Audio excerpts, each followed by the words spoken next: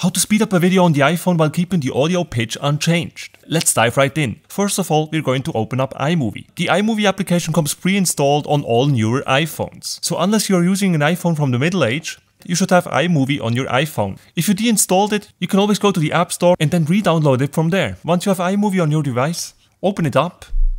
Then at the bottom tap on Start New Project. And select Movie.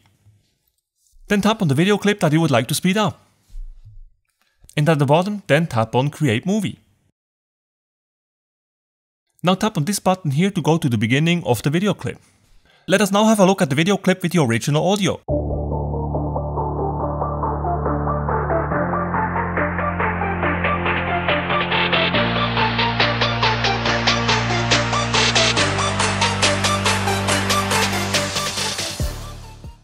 The next step for you is to tap on the video clip on the timeline. Then at the bottom tap on the speed icon here.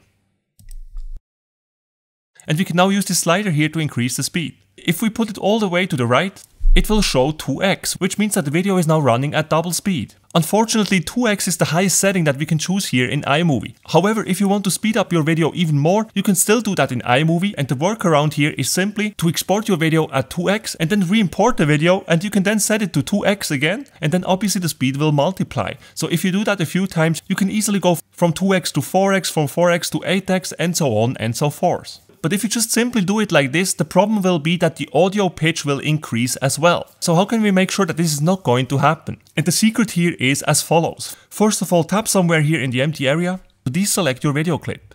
Once it is deselected, in the lower right corner of the screen, you should see this gear symbol. Tap on it. And at the bottom here, you will then find this option Speed Changes Pitch.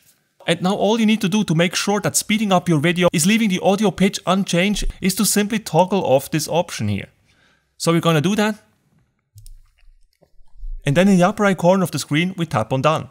Now, whenever you're changing the speed of a video clip, the audio pitch will remain unchanged. Here is the clip with 2x speed with unchanged audio pitch.